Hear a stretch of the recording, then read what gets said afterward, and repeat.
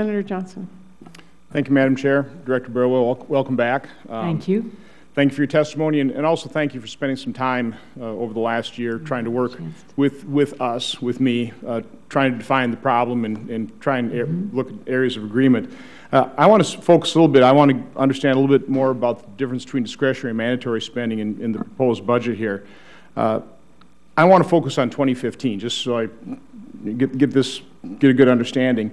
Uh, the figures I have is that uh, you're proposing in 2015 $3.9 trillion of spending, whereas the CBO baseline would be about $3.78 trillion. So we're actually increasing total spending, total outlays by about $118 billion over the CBO ba baseline. Is that about right?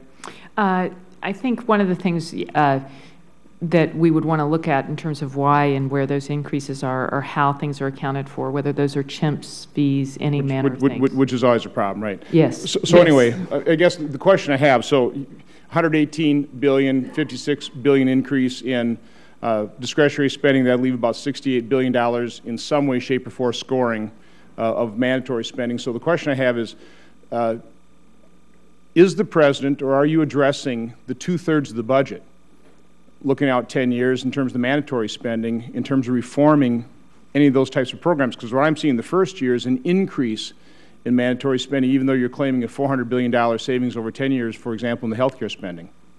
The mandatory savings uh, do come as one moves out in terms of when they grow. And those savings in terms of those types of mandatory savings, when they are structural, as we have had the opportunity to discuss, right. those are the ones you want because they grow in the out years. So, so what, what, so what, what, what, structural changes are you proposing in this budget to in that two-thirds of, of, the budget? In terms of the, even just the implementation of the Affordable Care Act, when the Congressional Budget Office scored those numbers, in the second decade, those numbers would be a trillion dollars. You're starting to get into that in terms of now we've moved from 2010. So our budget window starts to get those. The 400 billion is within uh, the window the, so, of changes that we do to Medicare, Medicaid in terms of reducing those overarching health care costs. We're, we're getting really heart-wrenching emails and letters from our constituents. Their, their premiums are doubling and tripling. Their out-of-pocket maximums are, are increasing. They're making really heart-wrenching decisions whether they have to quit a job so their income actually is lowered enough so they can qualify subsidies to just be made whole because of increasing premiums. Uh, specifically, you mentioned that health care spending is coming down because of the Affordable Care Act. Can you point to one thing that is actually causing health care spending to decline because of the Affordable Care Act, which just kicked in?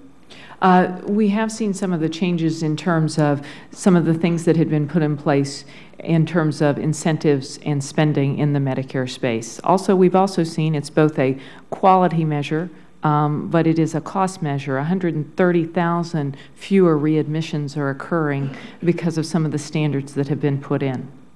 Okay. Um, as you're well aware, as, as we were meeting uh, over the year, I, I, was really concerned about a 30-year budget window uh, because we really have that demographic problem of baby boom generation uh, retiring at the rate of 10,000 people per day. Uh, have you looked any further in terms of the 30-year problem that we're facing? I know we could never come to agreement in terms of what that 30-year uh, deficit would be. Have you given any, any further thought to that or done any more know, work on that? One of the things that when we think about those out-year numbers that I think is one of the most challenging, and you actually even see it in the 10-year window, is the question of the uncertainty when you get in those out years in terms of the economic pro projections.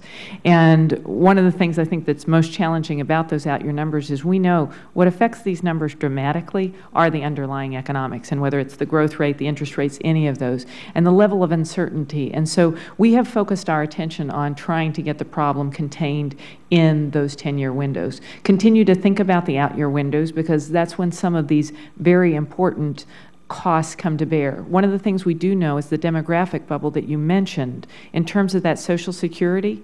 In the 10-year window, we are in the middle of some of the height of that. And so hopefully that will start to come well, down. Speaking of Social Security, we're, we're, taking a look at that, and that's probably the best actuarial math we have.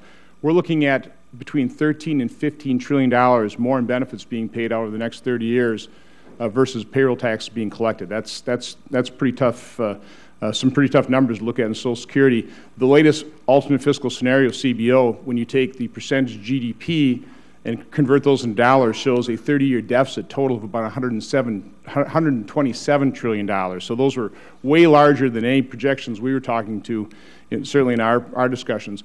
talking about Social Security, because I, I tried to get you to answer this uh, in your confirmation hearings, now I have Doug, Doug Elmendorf. The trust fund holds about $2.6 trillion worth of uh, bonds, U.S. bonds, right? And the Treasury has a $2.76 trillion liability because of those bonds, right? When you consolidate the federal government, what, what happens to the $2.76 trillion asset versus the $2.76 trillion liability? For the, for the federal government, that nets to what? I It- think it the net- question, it- I think the question is, is whether those numbers are actually numbers that net in terms of, uh, Well, if one takes a balance state, uh, you know, a balance sheet and an income statement, you don't, the numbers, the Oh, way the numbers oh, are made. What the trust fund does is represents those claims and what has been paid in. What the unified deficit does is represents what we owe. Both of those are relevant, important, uh, tr- part of transparent representations that are important. So I, I would refer you to your own, to OMB's publication that says that transaction nets to zero.